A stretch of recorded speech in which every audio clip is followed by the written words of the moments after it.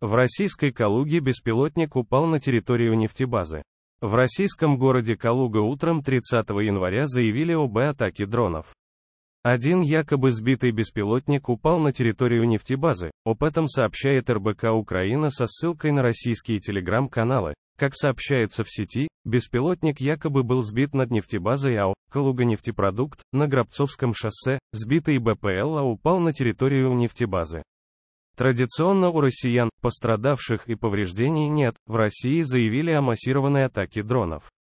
В Министерстве обороны России заявили о массированной атаке дронов сегодня ночью, 30 января. Оккупанты утверждают, что этой ночью российскими силами противовоздушной обороны якобы была отбита массированная атака беспилотников. В российском оборонном ведомстве заявили, что якобы был сбит 21 дрон, в том числе 11 над Крымом, 5 над Белгородской областью, 3 над Брянской, по одному над Калужской и Тульской областями. Губернатор Калужской области Владислав Шапша сообщил, что обломок беспилотника упал на крышу нежилого сооружения на окраине Калуги. Срочные и важные сообщения о войне России против Украины читайте на канале РБК Украина в Телеграм.